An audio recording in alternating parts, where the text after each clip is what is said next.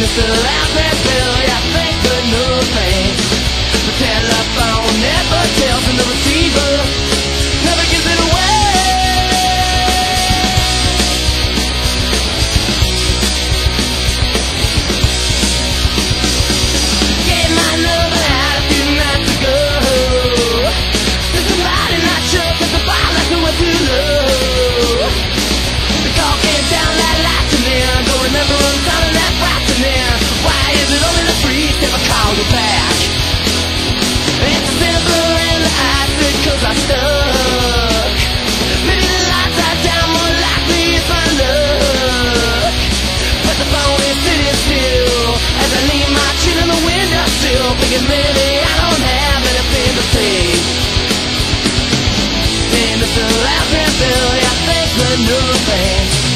Tell up